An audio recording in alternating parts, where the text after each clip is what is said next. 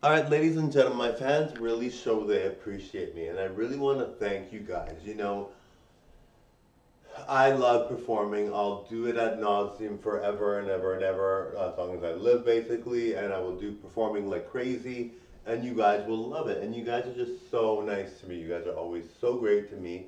You guys really give me that kudos to be like, hey, we love your performing. You're really, really good. Thank you, thank you, thank you we really enjoy that. You know, I really, well, I really enjoy you're enjoying it. You know, I really enjoy the fact that you guys really enjoy me and have me perform like crazy. I really, really enjoyed that. So thank you, thank you, thank you guys. I'm more than happy to give you guys the greatest show on earth. Love performing for you guys. It's so much fun.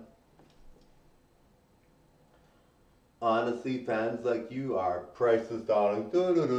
Bye now.